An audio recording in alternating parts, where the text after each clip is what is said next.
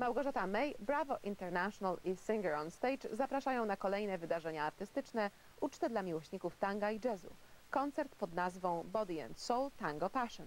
We wtorek 20 października o godzinie 19.30 w Jane Malley Theatre w St. Lawrence Center for the Arts przy 27 Front Street East w Toronto.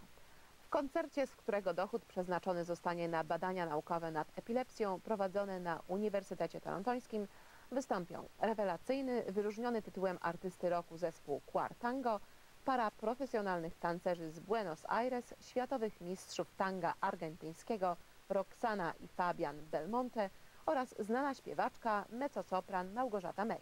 Usłyszymy najsłynniejsze przeboje, a także różne rodzaje tanga, m.in. klasyczne, argentyńskie, milonga i tango nuovo z muzyką Piazzoliego, Gardeliego, Petersburskiego i innych.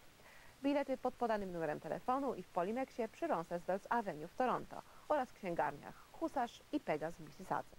I to wszystko, co przygotowaliśmy w dzisiejszym wydaniu Polskiego Studia. Żegnając się, zaprezentujemy Państwu fragment utworu w wykonaniu słynnego zespołu Quartango, który wraz z występującą w wideoklipie parą taneczną Roxaną i Fabianem Belmonte wystąpi już we wtorek 20 października w Jane Mallet Theatre w koncercie charytatywnym, z którego dochód przeznaczony zostanie na prowadzone na Uniwersytecie Torontońskim badania nad epilepsją. Do zobaczenia.